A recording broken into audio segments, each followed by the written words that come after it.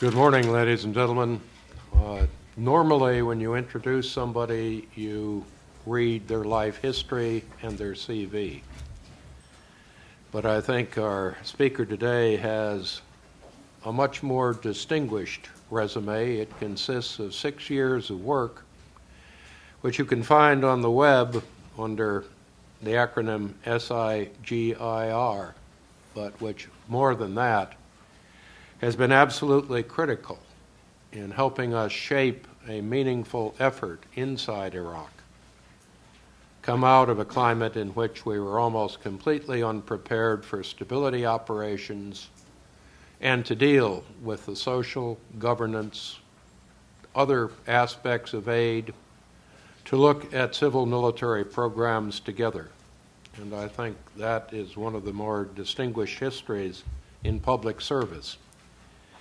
It is also one which I think is going to be absolutely vital in the years that come. We may remove our forces from Iraq at the end of next year. But the problem of going on with the development of Iraqi security forces, carrying forward the aid programs, shifting from military aid to the police, to a State Department program, finding new ways to treat Iraq as a full partner. If that is possible with a government we cannot yet identify, these are challenges which go for at least half a decade.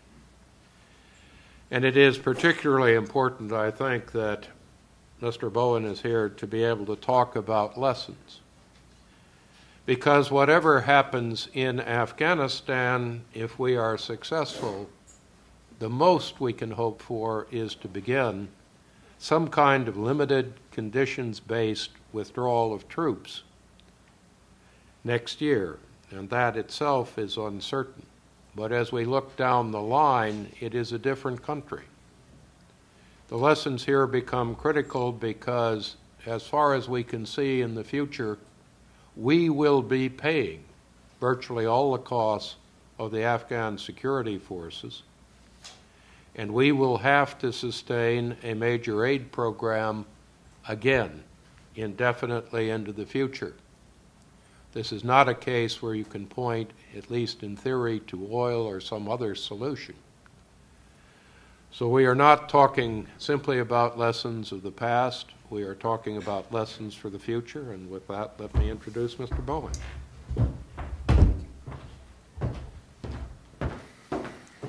Thank you, Tony, for that kind introduction. And thank you all for coming out this morning to discuss uh, an issue that continues to be ripe on the front burner. Indeed, dealt with yesterday on the Hill at a hearing on transition in Iraq. Um, titled, Is the State Department Ready to Lead?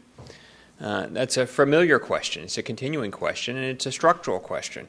Uh, a question that's critical to my job, uh, my job overseeing uh, the use of taxpayer dollars 53 billion to date in Iraq, uh, equaled now in Afghanistan, and next year we'll go up to 71 billion. So, how we do this, how the United States government is structured to carry out contingency relief and reconstruction operations, is critical.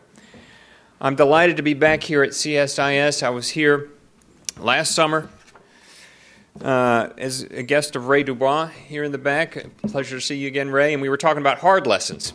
Uh, our tome about the, what happened during the Iraq Reconstruction uh, enterprise, good and bad, uh, and and it it is the body of evidence supporting what I'll have to say today. So it's available on our website www.sigir.mil.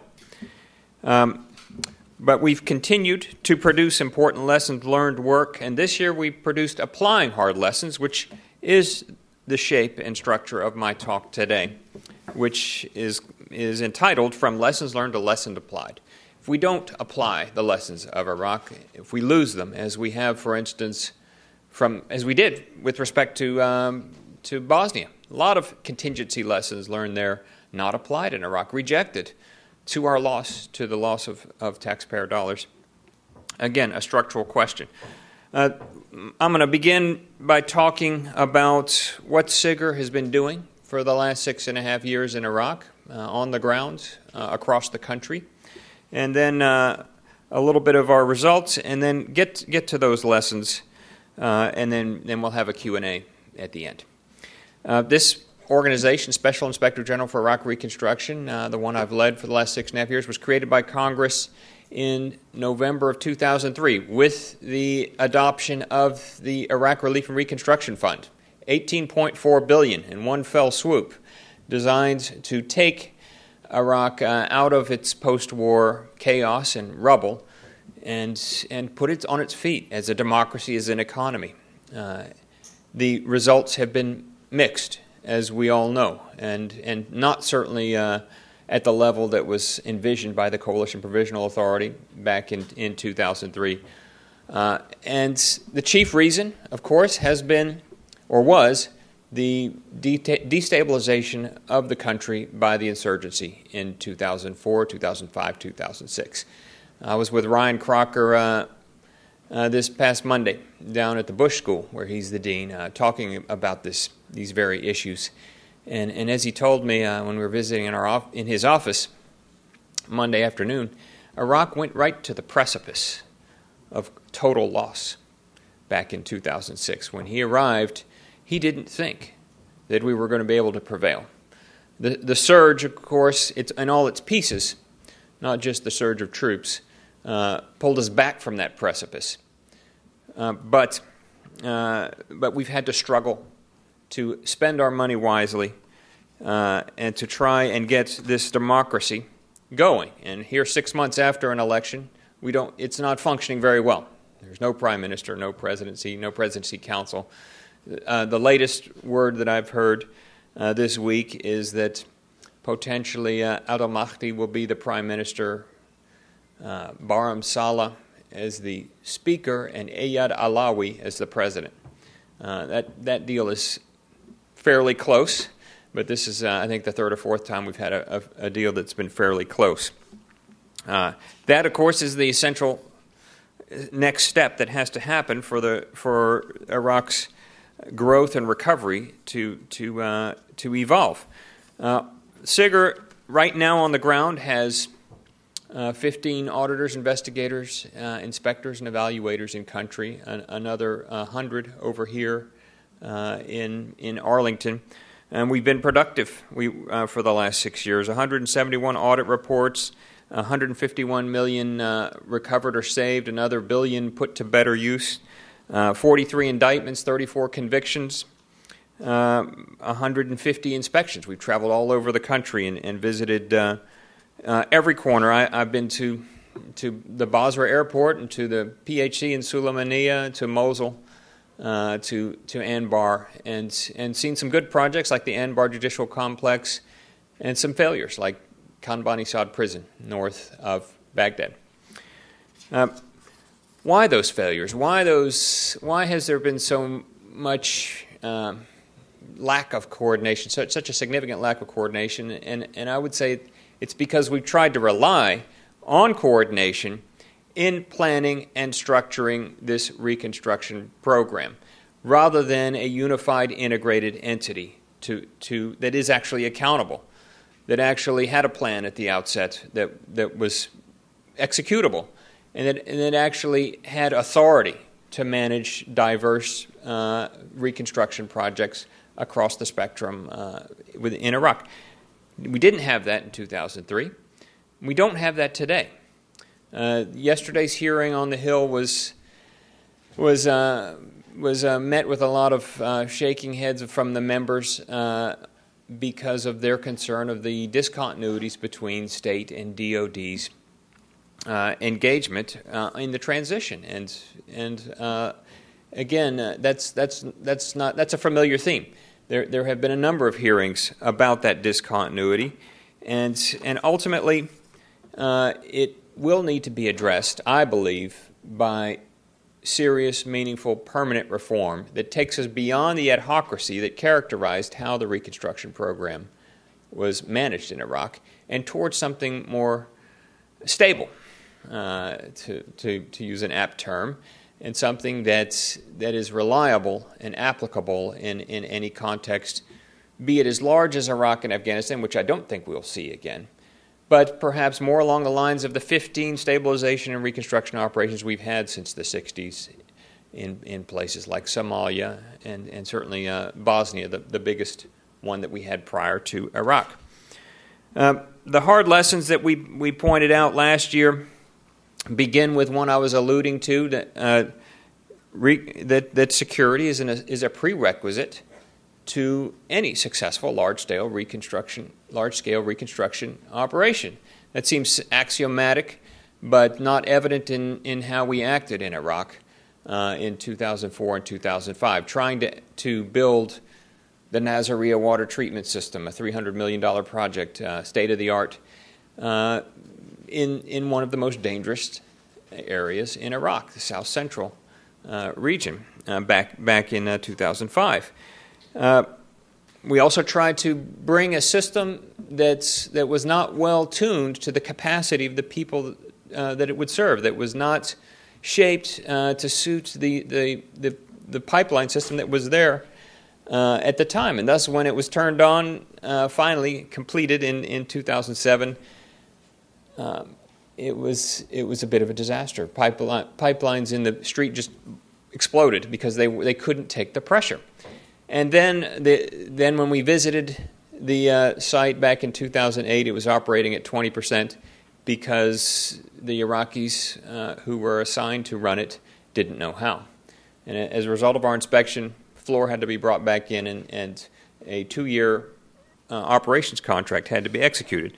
So, developing the capacity of the people and being sure that they're properly consulted and that the systems that we bring suit the situation is a second critical lessons Security, matching the capacity, ensuring that soft programs uh, are as uh, emphasized from the outset as, as hard infrastructure. That certainly wasn't the case in the initial Iraq Relief and Reconstruction enterprise. Uh, when Ambassador Negroponte came in, he, he shifted the emphasis, but it, it meant the canceling of hundreds of projects and, and the moving of money around that caused delays and waste that we've seen in Iraq. Um, the, the most significant lesson, though, uh, from Iraq is the need to develop, uh, as I said at the outset, a single entity within our government that has the, the duty, the authorization, the appropriation, the responsibility uh, for planning and executing contingency relief and reconstruction operations and being accountable for them. In, in uh, June of 2004, the system that was adopted in, in uh, National Security Presidential Directive 36 was an ad hoc system that created ad hoc entities uh, succeeding other ad hoc entities. The Iraq Reconstruction Management Office, some of you remember, remember that, perhaps served in it. The Project and Contracting Office. The first one, IRMO, was within the State Department. The second one was within the Department of Defense but they both were tasked with managing and overseeing the reconstruction program. And, and what happened was a, a certain rivalry and resentment developed between the two of them. Policy with IRMO, money with PCO, state, DOD, it didn't work well. Uh, there, were, there were things that the ambassador wanted uh, that, were, that, that simply didn't get executed on the DOD side because PCO reported the Secretary of the Army it was a DoD driven uh, fund source, the Iraq Relief and Reconstruction Fund. Alongside it came the Commander's Emergency Response Program, another three and a half billion. Uh, and state was over here trying to connect, and so over time uh, they tried to to wire up and and and develop integration. But did it work very well? No. It's building the airplane in flight, and with the pilots changing along the way. Uh, that, uh, that obviously uh, caused a lot of waste and created vulnerabilities to fraud. Uh, and, and we continue to uncover those cases, significant uh, cases just this year in, in, the hundred, in, the, in the tens of millions that, that, that we, will, we, we are investigating and that DOJ is pursuing. In, in, the handout that some of you that you I hope you have, there's a there's a line diagram that I think is Exhibit A for why we need the kind of reform of which I'm speaking today. It's, it's the uh, management structure for Iraq reconstruction back in 2004. And it just, if, if my uh, verbal description doesn't capture it, that visual will. Um, what I have proposed in, in applying hard lessons and, and, what, and, and what the Hill is really, frankly, gaining interest in is something obviously much more streamlined than that, something much more defined. The U.S. Office for Contingency Operations would have the responsibility uh, in theater uh, for contingency relief and reconstruction operations. It would not be a new layer or a or, or a, a, a, development or implementation of, of a level of bureaucracy that would interfere with either defense or diplomacy. I think that's one of the criticisms and one we have to take on uh, clear, clearly. Uh, it, it would not be a layer because it would bring together the elements that are already out there that aren't integrated, that aren't operating effectively together, and give them a leader, and give them a funding stream, give them a statute, an authorization that, that clearly delineates what it is they're supposed to do. It would be somewhat like FEMA in that, in that the, the president would declare the contingency underway, and that would create the jurisdiction of USOCO, and then at the end of the contingency, it would be declared over. And, and so there would not be, as some at the State Department have feared, this continuing presence of USOCO interfering with diplomatic endeavors and it would not interfere with defense operations on the ground. Generals would be in charge of, of combat operations, all security issues, uh, and it, it, would not turn into a longer term development. So it's not development, it's not defense, it's not diplomacy, it's, it's what I call the fourth D. Uh, and it, it's, it, is, it is a unique aspect, a unique element for protecting our national security interests abroad uh, and one that we're not well structured to do. And, that, and, and the consequences, as I've said, still evident even yesterday on Capitol Hill in, in talking about who's going to be in charge of what in the course of the transition. Uh, the, uh, the, the, the reality is, is that, that the administration, specifically Department of State, USAID, and Department of Defense, uh, don't embrace USOCO yet, but they do agree with the problem as we've diagnosed it. That, that there has been uh, a, a, complete discontinuity in the oversight of funds. That there, there aren't enough personnel with expertise trained and ready to go to carry out contingency relief and reconstruction operations. That there has not been an IT system that can keep track of what we've even built. Something as simple as that uh, one of our first audits identified that problem, and the Iraq Reconstruction Management System was developed. It filled a gap. That's not, that's not again, not the way you're supposed to do this. And, event, and it, was able to account for 70% of what we built, but imagine that 30% we don't know where or what or how it was done. And that, that, uh, that is a, a core weakness that's certainly unacceptable, uh, especially when you're spending $50 billion in taxpayer money not to mention another 20 in Iraqi money. The Development Fund for Iraq, uh, the United States has also had responsible for responsibility for it uh, to varying degrees over the last uh, six years. Uh, the story there, as a recent audit of ours indicated, is not any better with respect to oversight and management of, of, of that reconstruction money. So there are core weaknesses. We know them, you know them. There, the, the evidence is here in, in, in hard lessons. Uh, what, what, what, do we do with that? And, and what does the Congress do that? What does the State Department and the Department of Defense, the, the leaders in, in these operations, do with that?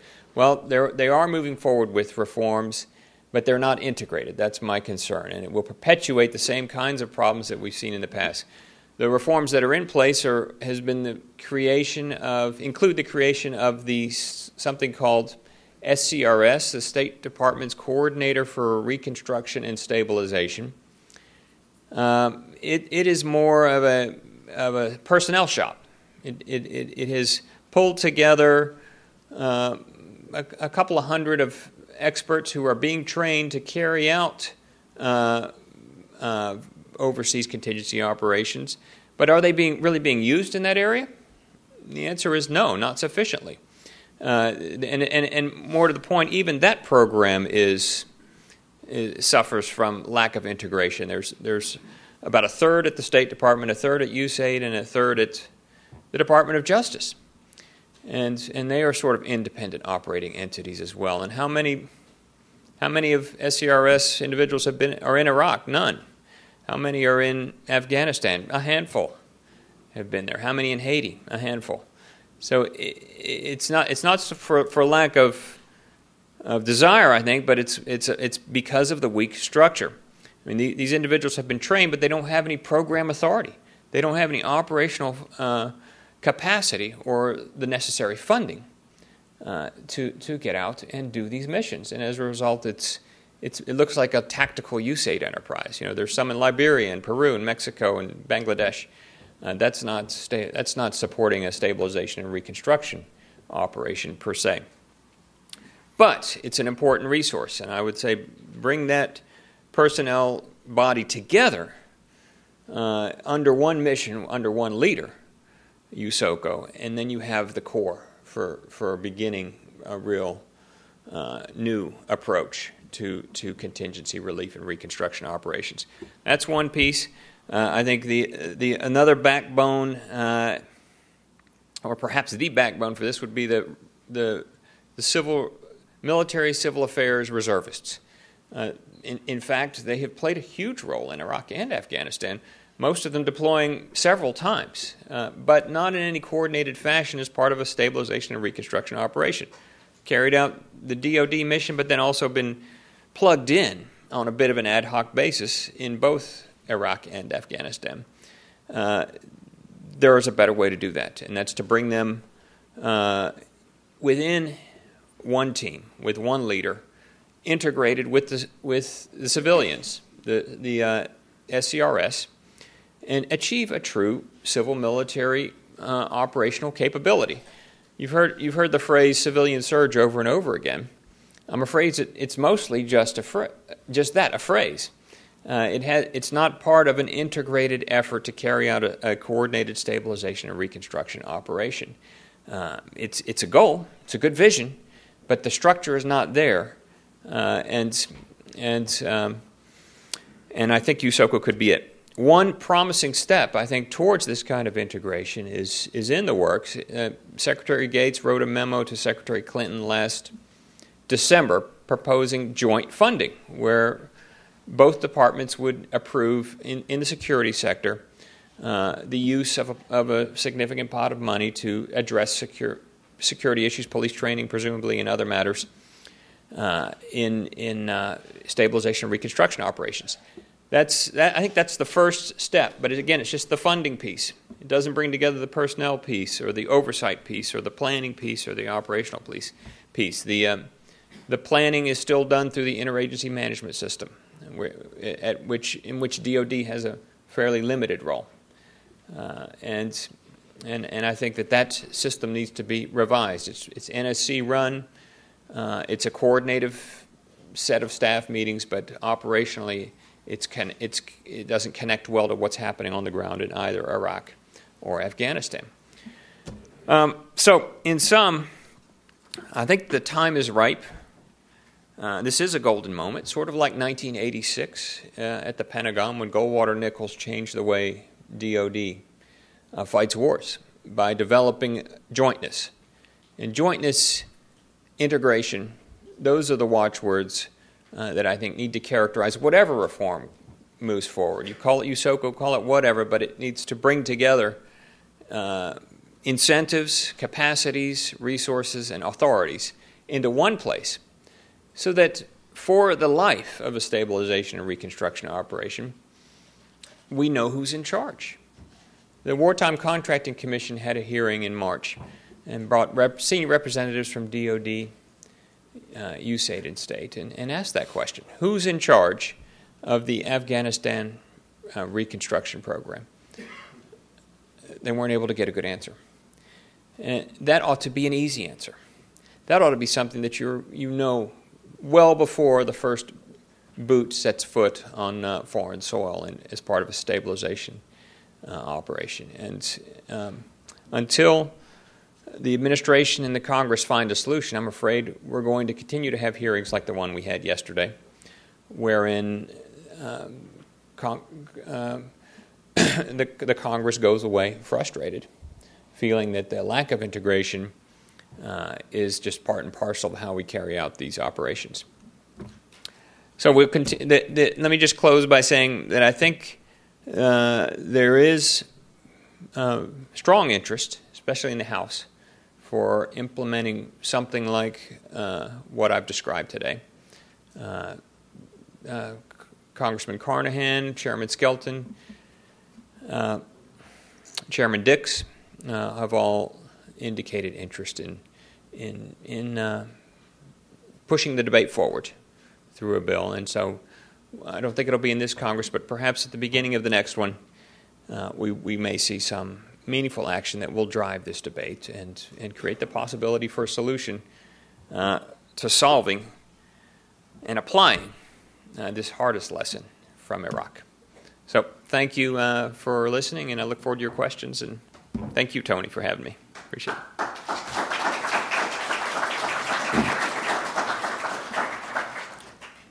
Stuart, I'm going to take the moderator's prerogative and ask you a question before I open things up. Generally, you focused on the need for effective leadership and organization. Let me ask you about two problems that I think most of us who have been in the field have seen continuously now over nine years in two wars. One is that people talk about integrated civil military plans, but when you actually read the plan, there is a military plan and there is a state of civil concepts which do not reflect in either war any meaningful integration within state or even AID. And it goes on and on, and we keep hearing about it changing, but it never does. The second thing is we've been at war for nine years and we are still measuring effectiveness largely in terms of what we spend. In Iraq's case, there was once a State Department maturity model. It was followed by a State Department stability model, and the department has no model, either an AID or a state, for measuring basically what it is doing internally. How do, is that something you can change organizationally, or is it simply a basic problem in core competence within the U.S. government? Uh, I, I, think, as was discussed yesterday at the hearing by uh, a number of members, that that what was asked of the State Department in Iraq and and in Afghanistan was was something beyond its core competencies, be, uh, beyond its its prevailing culture. Uh, and, and, and what that was is overseeing and managing a complex uh, reconstruction program uh, uh in, in an unstable environment. Uh, that, that, is, that has not been a traditional role for, for the State Department, uh, nor has it been a traditional role for the Defense Department. Both departments have undergone significant evolutions in response to what was encountered in, in Iraq, but because of the Defense Department's uh, really robust planning culture, its response was was was uh, was uh, I think more effective. Uh, DoD Directive 3000.05, uh, the stabilization and reconstruction directive that Secretary Rumsfeld signed uh, over five years ago, uh, I think, uh, instituted the most significant evolution at the Pentagon in, in modern times, you know, other than Goldwater Nichols. And it, it, has developed a capacity to do rebuilding and to, to do peacekeeping of sorts, to, you know, to, you know, perish the word, but, uh, but it is what's been going on to do some nation building in Iraq and Afghanistan. But it's not, as Secretary Gates has said, a core competency or a core mission of the Department of Defense. And, and he has said he, he would like to see uh, the State Department resourced and USAID strengthened. But those are long term plans and those are, those are large requests. Uh, it's more than just money. It's, it's about where does this mission fit and who's going to manage it. And, and, that, and because it's not neither defense and neither diplomacy, nor is it development, Uh, it doesn't fit neatly with any, any existing department. If you place it at, at USAID, as some have suggested, or place it exclusively within DoD, then then that those particular cultures are going to shape the the mission in a way that perhaps deprives it of of, of other inputs that it needs. And that's why I pr- propose USOCO, which would report to both Secretary of State and Secretary of Defense, like I do. Um, ECA during the Marshall Plan reported to two secretaries as well, as well, and Paul Hoffman was able to make that work back then. I think this could work, uh, and and uh, but I, I think the, the long answer to your question, to cut to the short uh, conclusion, is is that. Uh, that the, that the State Department is, is, is, has not had this as a core competency. It's not part of the traditional culture, and, and that, that to assign exclusively stabilization and reconstruction operations mission to them when it's a fundamentally civil military mission uh, would not solve the problem. Ladies and gentlemen, let me open things up uh, generally for questions. Let me ask a couple of favors. First, please wait for the microphone. Second, please, when you begin, let us know who you are and where you're from. And finally, uh, if the question ended with a question mark and was relatively short, it would probably allow everybody to ask questions during the course of Stuart's presentation. So let me open things up. Uh, who'd like to begin, please? Gentlemen, and you in the second row, just wait for the mic if you don't have. Sir, George Nicholson with Stratcorp. Last year at a major conference in the National Press Club, General Tony Zinni mm-hmm. was adamant about it's not going to be fixed. State Department doesn't have the initiative. State Department doesn't have the attitude. By default, the military is going to have to do the job. They need to be given the resources and given the task. Along the same lines, you talked about with the military coming out of Iraq, the military going to be coming out of Afghanistan, but the large presence of State Department and other organizations Who's going to support the security, logistics, force protection, uh, and communi- communication support? A very tough question.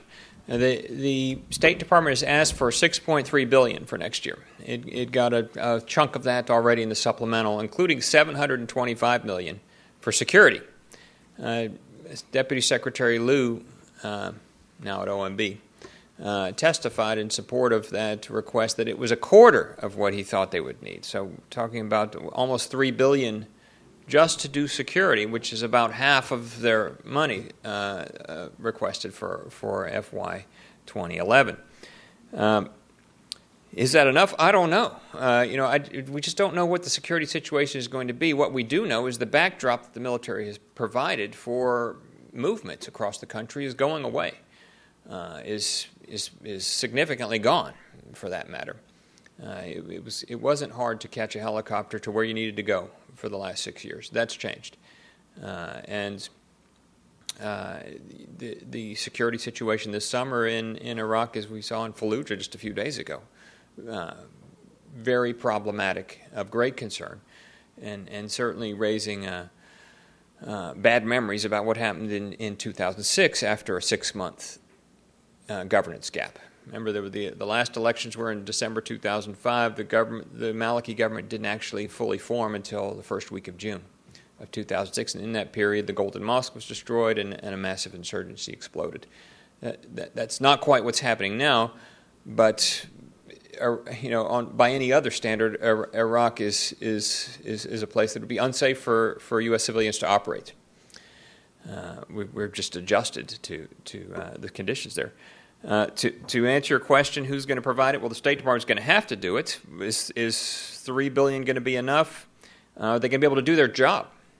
And that was an issue that came up yesterday at the hearing as well. If whether whether uh, civilians are actually going to be able to engage with Iraqis at the provincial level uh, is is a, is an open question because of the continuing security concerns. Uh, in the back row there, the gentleman.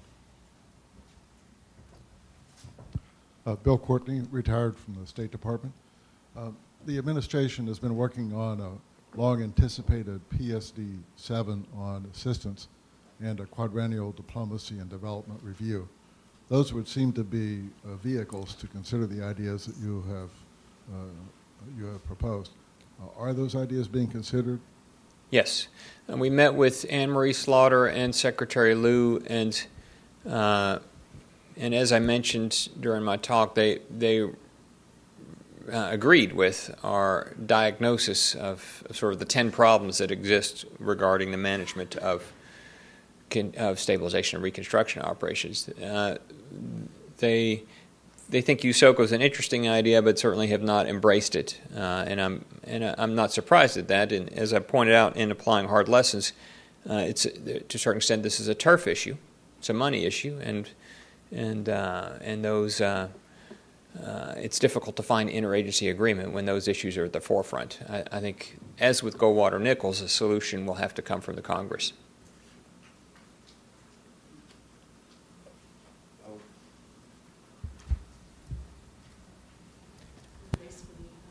Uh, hi, I'm Ellen Lapson from the Stimson Center. Um, as Iraq offices across the system sort of move back to being sort of under regional offices, so they're no longer reporting directly to the top, I wonder about the status of the special IG and whether there's any plan eventually to uh, treat Iraq like other countries with respect to sort of under the authority of the normal State Department IG mm-hmm. process and whether the mission of your office is essentially that historic period, that huge, you know, reconstruction funding that had so many problems that yes. you've so uh, well studied now, or whether are you currently serving as a current IG for ongoing activities in Iraq? Uh, yes, we well. First of all, first part of your question, uh, we have a, a, closure and transition plan that's that's underway, and and SIGIR will conclude by the end of 2012.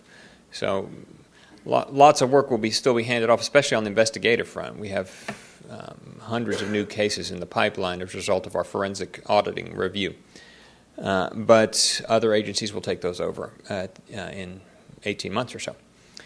Uh, but yes, there's still significant uh, money, 6.3 billion uh, under under our aegis coming into Iraq, according to our statutory authority. The, the money that is appropriated to support uh, the Iraq program is within within our jurisdiction, and so so we have um, some very interesting audits uh, coming up uh, in in this quarter. For instance, a review of the National Democratic Institute's management of grants, uh, following up our, our, IRI review from this last quarter. Um, we have uh, a review of the special operations, the investment in the Iraqi special operations uh, forces. Uh, and we have a, an, a, a, a, kind of closeout audit of how the money that was seized during the invasion, the 1.5 billion, what happened to all of that? How was it used? Was it stewarded properly? Uh, so just a good, good cross section of the kind of work and the diverse jurisdiction that we have. Um, the, the, as part of our last phase, this last 18 months, uh, I've also I've concluded our inspections regime and began an evaluations regime. And so we're going to, over the next six quarters, issue an evaluation every quarter, looking at big picture issues, outcomes. And in, our first one will be uh, in, out in, at the end of October, an interesting one on big infrastructure projects, specifically looking at the Nasiriyah water treatment system, the single largest project that we did, 300 million, and Erbil, which was also a top five project. Uh, one in Kurdistan, one in, in the south, and so it'll be an interesting contrast. And we, we've done surveys of the population, uh, trying to get at what effect, what impact did these significant projects have upon the Iraqis themselves and served by them, and have some, some uh, I think, some uh, fascinating conclusions for everyone to see when, when it comes out. Stuart, if I may just follow up on Ellen's question. Uh, the State Department first had what was called the maturity model, which was more a public relations effort to prove we had developed Iraq and could leave. Then, when that was rejected, they went to a stability model, which was supposed to actually measure and evaluate effectiveness, which is not the function of the State Department IG normally. As I understand it, that stability model essentially is in limbo, which means neither state nor AID will have an internal mechanism for measuring the effectiveness of its aid and civil programs. Uh, Is that where we stand at the moment? I think a good answer uh, is found in the reports of the USAID IG's uh, reviews of of uh, the the CAP, the the the program, very large uh, civil assistance program, and and a number of other grant programs uh, that have spent billions uh, through something called Tatweer in in Iraq, and and the IG's point is exactly the one you're alluding to that.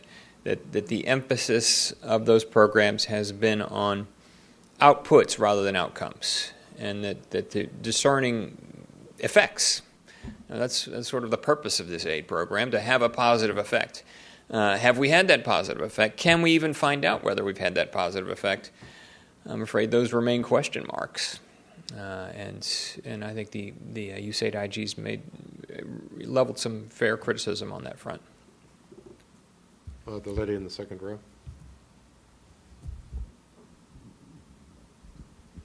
Hi, I'm Alex Boucher. I'm with the Center for Complex Operations at the National Defense University.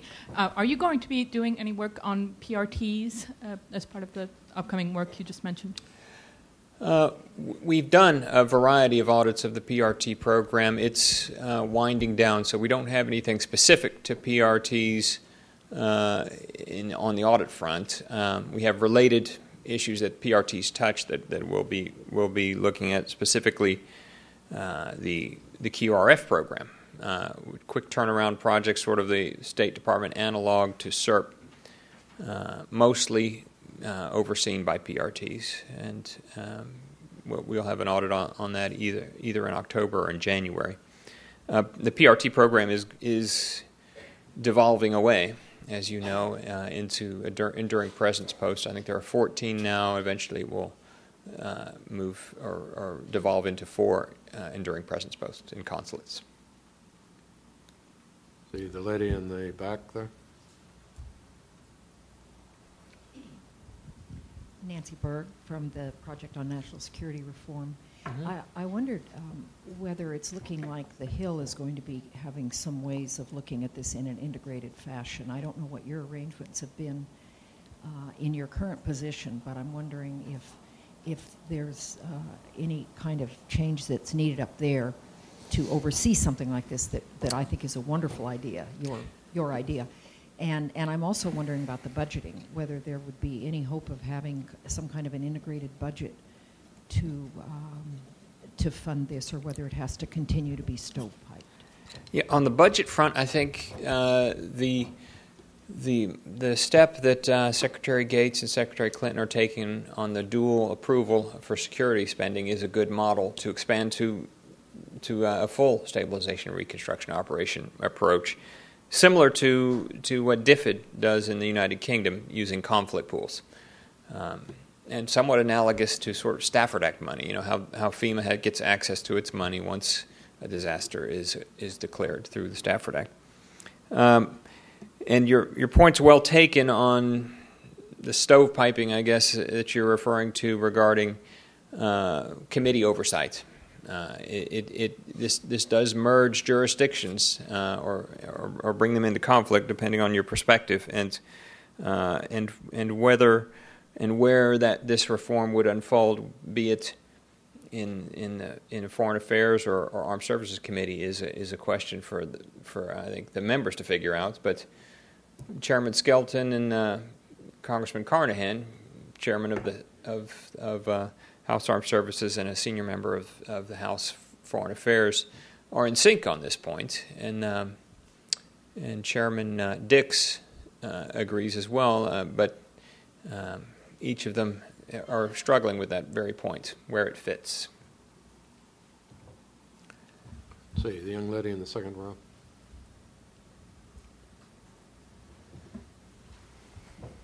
Hi, Cameron Middleton with Barico Technologies. Um, I just had a question about your comment on IT solutions mm-hmm. and sort of jumping off from where we are with the QDDR versus USOCO debate.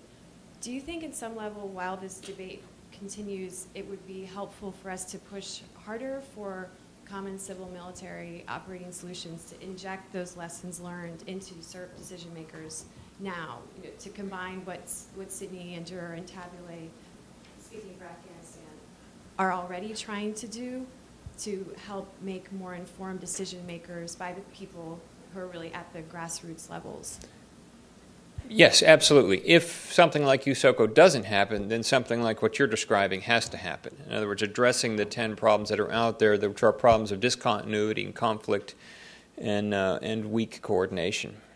Uh, if we can't get to integration, the coordination has to improve uh, in IT. And I didn't mention especially contracting.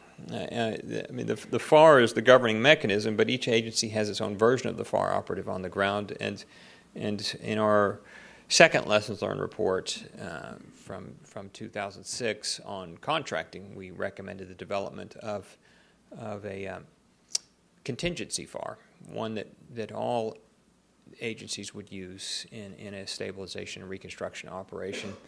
Uh, that met with pretty much uniform assent as, a, as an idea, but it, but it hasn't been implemented yet, and, and thus the contracting problems that, that, have, that plagued, I think, the early Iraq program are still, still daunt uh, what's going on in Afghanistan. Gentleman in the back row. at CSIS and formerly for more years than I care to remember at AID. I was wondering if I could uh, ask you to comment on three themes. The first is your very first point about security being a necessary precondition for reconstruction. Second, the PRT issue. And thirdly, the outcomes question that Tony is asking, and that is that we're you're talking about environments that don't admit of any of these things, and there are conflicting, ten- conflicting principles that uh, govern these reconstruction efforts in these kind of insecure military type operations, where the military needs certain kinds of things, the civilian people need other kinds of things, and the two never quite get joined up. And I wondered if you had any larger comments about how this can work. How can a reconstruction program work? Forgetting the organization and the, and the coordination or integration, can you do this kind of thing in an environment in which you have such different tensions between the principles guiding, in effect, the overall effort? Yeah, yes, I think you're talking about the tension inherent in COIN, sort of the U.S. the military's approach to to stabilizing uh, uh, a, a uh, hostile environment, and then the stabilization and reconstruction operation, the the, uh, the sort of the civil side of that coin, no pun intended, uh, and, uh, and, and I think that's that's going to require planning, joint planning ahead of time. You know, it's not something that you're going to work out on the ground. Uh, while as a as a brigade commander spends you know ten million dollars in CERP uh, in a PRT leader's zone without the knowledge of that PRT leader, and then and then you have a a mayor or or a a provincial council member come knocking on his door saying, When are you going to finish my courthouse? Actually, a real story from Hilla uh, that I encountered in, in, our, in one of our PRT uh, reviews. And, and that's, that's unacceptable. That sort of discontinuity, uh, even though there was no ill will, it's, it's a function on, on anyone's part in, in that discontinuity. Uh, it, there, there needs to be visibility uh, and systems oversight uh, that that avoids uh, creating the, the confusion on the ground for, in this case, the Iraqis in Hilla about what the United States was providing. How do you do that? Well, you, you have to have an, a level of integrated planning in place before you get to Hilla. Uh, before before a brigade commander rotates in and and and is lobbied by by the provincial council member to do X, the same thing he lobbied the previous brigade commander on and maybe didn't get uh, without talking to the PRT leader who, who, did, who, said, who didn't have the money and didn't want to do it for whatever reason. Uh, there are a lot of moving parts, and it's hard. You're right. I mean, that's it's your, your, your, the premise of your question is, is how do you reconcile uh, uh, these, these differing departmental approaches and, and, and strategies? And, and I think it, it, that's why it requires something new. I, I think coordination alone hasn't worked sufficiently well. Let me pick up on that. That talks about our internal problems, and in Iraq, your experience was dominated largely by the U.S. aid effort, although you did report on international efforts. When you look at Afghanistan, a very large number of the PRTs are foreign. And you have a situation basically where many of the foreign country aid missions do not even talk to their own military, much less to the Afghan government or anything else, and where UNAMA, in theory, is in charge of coordinating the aid activity, but has never issued a report on any aspect of aid activity and has never been involved in any effort to audit any aspect of UN operations after nine years of war. Uh, if we solve the problem for the U.S. side and we are involved in international coalitions in the future, how do we deal with the reality of the international side? Well, when I briefed the USOCO concept to Staffan de Mistura when he was head of UNAMI, I think he's in Afghanistan now, uh, his response was was basically hallelujah. He said, if, you, if this gets before the Congress, call me. I'll come testify in support of it because this is what this is uh, an an engagement, uh, an approach uh, that that the that the UN would like to see within our, uh, the U.S. Uh, stabilization, reconstruction, operations doctrine.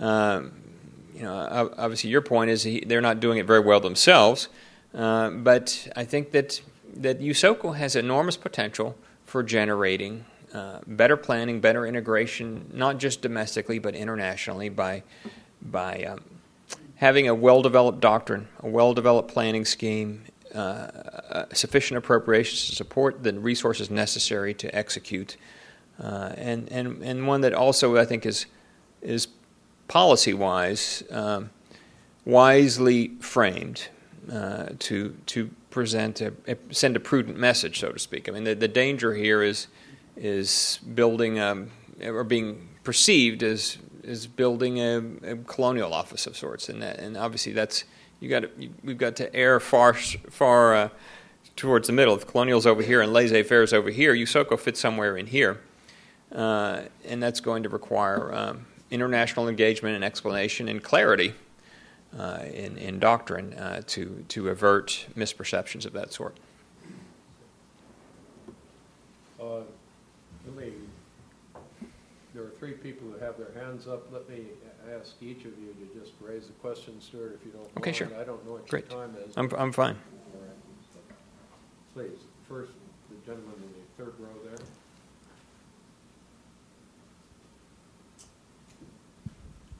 Hi, I'm Will Embry, a former Foreign Service officer, now working for DynCorp International. Uh, I, I, agree with you completely that the only way that USOCO is going to happen is through Congress. You know, you need a champion. You, need a Goldwater and a Nichols. It doesn't sound to me like you found those champions yet. Is that true? Well, Chairman Skelton is a is a is a pretty good champion. Uh, Mel Carnahan's a very smart guy, and uh, I think fourth on the foreign affairs. But but do I? I don't. You know, Chairman Berman's Berman's staff is is uh, very intrigued and interested. Uh, on the Senate side, we've we've got a, a wide range of interest, uh, but we're not as close to um, to a potential bill on that side. I think it will it will probably start in the House. Uh, I mean, there are there are Congresswoman Granger, uh, Congressman Rothman, uh, Congressman Moran, a, a, variety of, of, members have have uh, expressed strong interest in in, in in pushing forward a solution. They are pretty much in universal agreement about the diagnosis of the problem and of the need of some reform, uh, and and and then I would say interested in USOCO as a possibility for that. Um, whatever you want to call it, I'm fine with. It's just there, there needs to be, as, I, as, as is the title of this talk, an application of lessons learned. Otherwise, it's it's it's history. It's not uh, it's not productively uh, um, applied to, uh, to to how we're going to carry out stabilization operations in the future, and we will. This is, I think, the leading edge of protecting our national security interests abroad in, in the modern age. The gentleman in the center there. Charlie Keyes from uh, CNN. Mr. Bowen, thanks so much for this, and thanks for all your years of, Mm-hmm. Thank uh, you. of hard work. Uh, can we just go back one more time to the, uh, the hearing yesterday and the earlier question? Is the State Department prepared to lead uh, once that military withdrawal deadline uh, occurs? And are you suggesting that state really has to make some hard decisions about scaling back its plans? And, and what do you think about the alternative argument that they ought to beef up, uh, dramatically increase the number of contractors that they'll have on board for security, transportation, et cetera? As, as was discussed at the hearing yesterday, and as I presented, uh, there, there's, not, there's not just one answer to that because there are so many aspects to the question. Uh, but the context within, within which I presented my testimony, I think, is highly relevant, and that is the Iraq program is evolving from a, a stabilization and reconstruction operation mission to a, a more regularized foreign aid approach. We're not there yet. 6.3 billion is, is a huge sum. Uh, you know, even even in uh, Iraq reconstruction terms, of where we've spent 53 billion already. Uh, but you know, the, as has been the case throughout the experience in Iraq, the overarching question is security. Uh, will the environment be stable enough to carry out the assistance missions that, that the State Department and USAID wants to? And, and I, as I said earlier, uh, the, the lack of, um, of a coherent and operating leadership uh, or within the government, uh, the lack of um, a prime minister, most specifically, uh, raises, you know, casts a pall over, over all other questions uh, today in Iraq and raises concerns that the, the, attacks like we've seen in Fallujah that we've seen in Baghdad and Anbar and in Diyala, in Mosul, uh, over the last six weeks will, will continue uh, to increase in frequency and destructiveness. And, and, uh, and that's, that's called losing ground. Uh, and, and, and we, you know, I think we're, we're, st- we're still moving forward in Iraq, uh, but not at the pace necessary to secure success. The army of contractors, is that? Well, yes, be, uh, simply because uh, it uh, is the precondition for State Department civilian employees uh, to execute their job. As I said, the military has provided this somewhat invisible backdrop uh, that has enabled movement and engagement with Iraqi provincial councils uh, all across the country. Uh, that uh, capacity will now move to uh, contract security, and, and whether it will be sufficient will be conditions based, and, and I have real concerns about that. I think we had a last question in the back over there. Thank you so much. Good morning. My name is Allison Johnson. I'm a former USAID implementer uh, and now work for Northrop Grumman Corporation, building a smart power initiative around supplying contractors for the Department of State, USAID, et cetera, in this field of reconstruction. And I'd like to return to the Inspector General report around the $53 billion that you've been studying to really ask some hard questions about the results to see if you could provide for the American people a sense of where we are able to stand in the results that were generated. Did you have some kind of measurement that X of the billion, X of the 53 billion uh, generated numbers of jobs or X number of facilities? And then can you compare the numbers for the Department of Defense where the Inspector General referred to about 10 billion this year that they couldn't account for for money spent within the, the region to see if you had any similar statistics so the American people can have a clear sense of where our tax dollars have gone. Thank you so much. Yeah, that second point is our recent audit of the Development Fund for Iraq. Um, oddly, nine billion again. Some of you might remember almost the now urban legend, but but the missing nine billion dollars from our from our January 2005 audit regarding the CPA's management of funds transferred to the interim government of Iraq for their administration.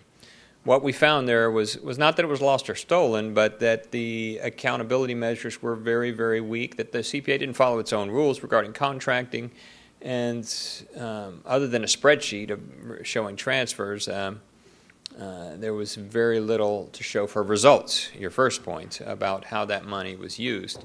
This latest report, sad to say, is an, is an example of less, a lesson not learned. That uh, what happened after the CPA went away, the Coalition Provisional Authority, uh, the uh, Iraq, Iraq, the government of Iraq agreed that that the United States should continue to manage significant billions of dollars in, in development fund for Iraq for for projects and programs, mostly security. And it was the Department of Defense that had charge of that. Turns out to be another nine billion. And it turns out that the required rules for for accounting for that money were not followed by DoD. And and I'm most concerned about the about 2.6 billion of that amount that it wasn't they just didn't follow the rules, but they we weren't able to get any documentation for it at all, and uh, and so we're still following up. I mean, that's a, those are open findings, open recommendations requiring reconciliation of the use of that money. Results. That's why I've created an evaluations department within my uh, office, and we're going to be generating a, uh, every quarter uh, for the next uh, 18 months uh, results oriented analysis that says, uh, you know, what did the Iraqis get and what effect did it have upon uh, their living conditions? It's, it's, a very important question that needs to be answered before we're done. I think we have one more question in the back. Yes.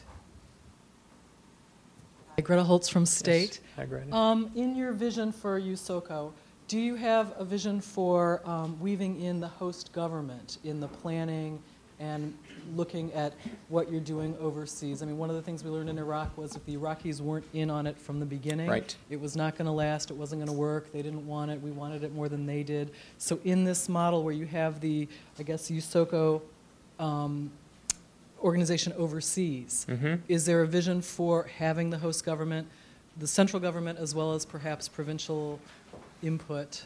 from yes, absolutely. Greta just got back from managing the PRT program uh, in Iraq for the for the last year and uh, did a great job over there. It was a pleasure working with you. Uh, um, yeah, core lesson from from the Iraq experience is, and you lived it, you heard it from Iraqis. If, if you work in Iraq, you, you they, they, and, and you talk about the reconstruction program, they come up and say, "Well, we didn't want most of this, or we didn't want that project. Khan Bani Saad prison, forty million dollars uh, in the in the desert, wasted north of Baghdad. And the De- deputy minister of justice, when we interviewed him, said, "Why'd you build this? You know, we didn't want it."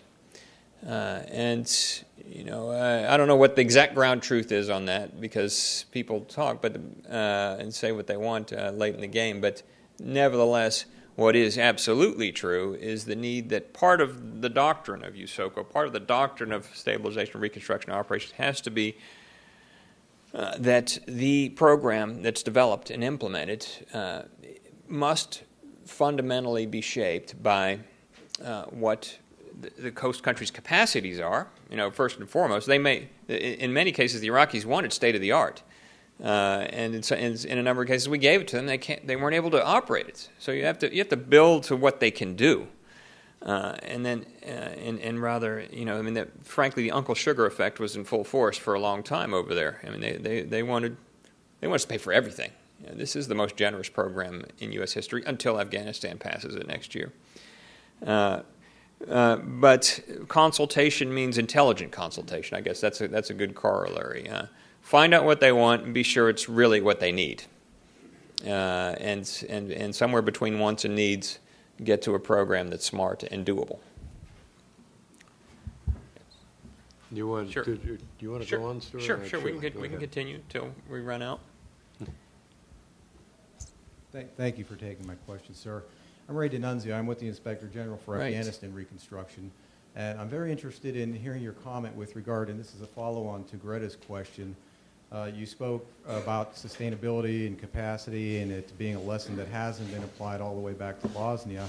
Obviously, we're facing that in Afghanistan as well. And I'm very interested in your comment with regard to a current consideration of the administration of putting more of the U.S. reconstruction money into the hands of the Afghans, into mm. the ministry levels, and allowing them to make the decisions on what the infrastructure needs are that they have, and allowing them to actually marshal those resources to the best of their own capacity Um, is, that, is that a solution to this problem, or is that fraught with more issues of accountability for U.S. Reconstruction money? Well, as you know, and I know, and we live, uh, it's the latter. Uh, the the the central prerequisite uh, to to that sort of initiative is effective anti-corruption uh, capacities within the host government. Uh, it's not the case in Iraq today.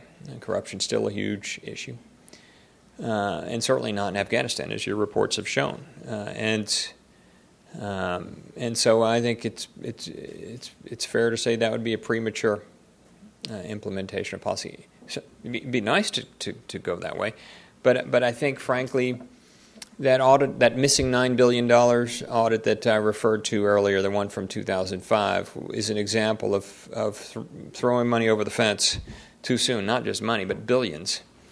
Uh, into into the hands of a government that doesn't have the capacity to police itself, nor the culture uh, to to uh, to root out corruption. And and I'm not naive enough to think that we're going to change the bakshish culture, uh, but but what we what we have to be sensitive to is one, these are taxpayer dollars, so we have a, a level of stewardship that that transcends. Uh, sort of the, the, the policy apparatus in place over there we have to we have to be able to assure the taxpayers that that money is going to be used properly. And and two, we have to then get to a point where grand corruption rather than petty corruption is stamped out. Uh, you know, petty corruption I think is part and parcel of everyday life. It's it's a commission process, frankly, on the ground. But the stealing of hundreds of millions of dollars, as has happened in Iraq and, and I think in Afghanistan as well, uh, means that um, uh, we have to be extremely cautious uh, with the taxpayers' money, especially in, in an era of you know $15 trillion debt and, and a recession. Yes. One more in the back. maybe?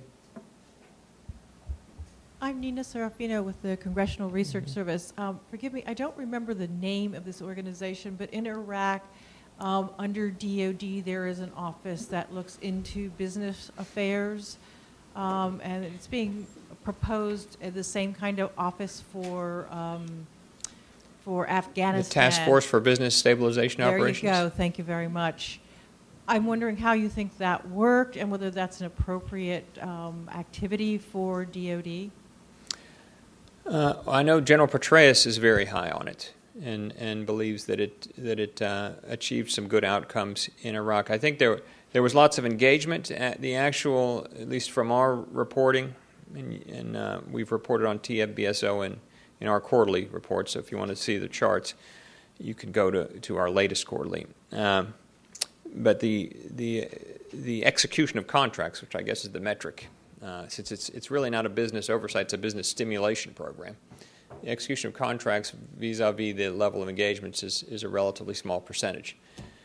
Um, you know, I, I think uh, the trying to stand up a democracy, get a, an economy going, and um, and stabilizing civil society is a multifaceted effort that requires innovation. And I think TFBSO is an innovative, if at the outset, uh, somewhat disruptive uh, effort. Uh, I know that within the embassy there were views that that was that was um, State Department within the State Department's aegis, not the DoD's. Uh, and I think that's one of the issues that USOCO would address. It, it, this, this is the whole, this is the rub of this entire uh, matter.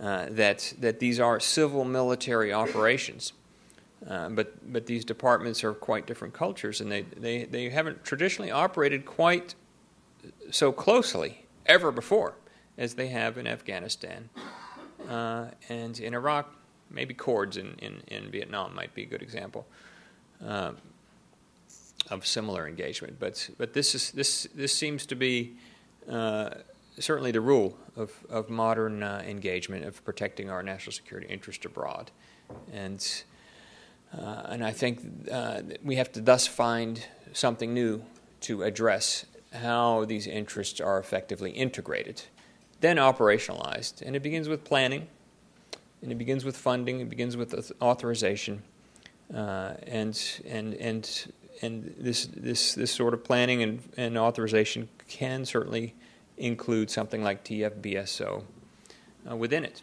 uh, rather than having it, as some in the State Department viewed it, forced upon them. Let me make this the last question. The gentleman in the center, second row. Uh, Thank you. Keith Henderson with American University. Uh, Pleasure to meet you. Thank I you. teach a course called Global Corruption and the Rule of Law, and I'd Hmm. like to invite you out to speak to Sure. my class sometime. Happy to. Um, My, uh, I wish you luck on your integrated planning and oversight um, mission. I have my doubts um, after having Fairly worked- placed. worked in this field for a long time. I work on anti-corruption programs as well. Um, and my, but my, I'm getting down into the weeds a little bit, but I'm just wondering, uh, especially as a preventive measure, uh, I know you specialize in forensic audits, and Mhm. um, what do you see the role, what kind of whistleblower system does SIGIR have, and uh, what kind of whistleblower system uh, would work in a place like Iraq and Afghanistan? Uh, could that have an impact on uh, your mission uh, if, if it were improved?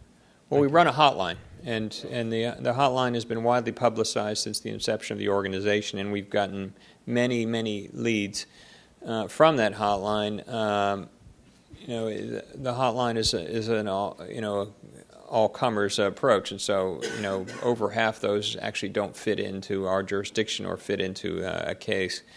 Uh, but we have had uh, other whistleblowers come in. Matter of fact, uh, probably our biggest single case, the Stein Bloom conspiracy in Hilla back in 2004. We put uh, nine people in prison from that um, about $100 million crime total. Uh, came from a whistleblower walking into our office into in the in the uh, Republican Palace uh, along the Tigris in, in Baghdad, and uh, uh, actually stories in, in Hard Lessons, chapter uh, chapter 21.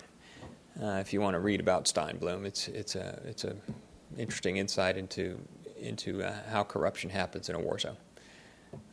But whistleblowers, thus, are important to IGs carrying out their mission, and um, uh, it's been difficult in Iraq because Iraq's a dangerous place, and whistleblowers are afraid. And, and as I've heard just through the grapevine, people watch our door and keep account of who's going near it, and and that that uh, so it's a, it's a fearful place, uh, not our door, but the environment, uh, because uh, um, uh, it's you know it's it's there's still a lot of guns out there. Thank you very much. I think that all of us appreciate the time and certainly the depth of information. And ladies and gentlemen, Great. may Thank you. Thank you.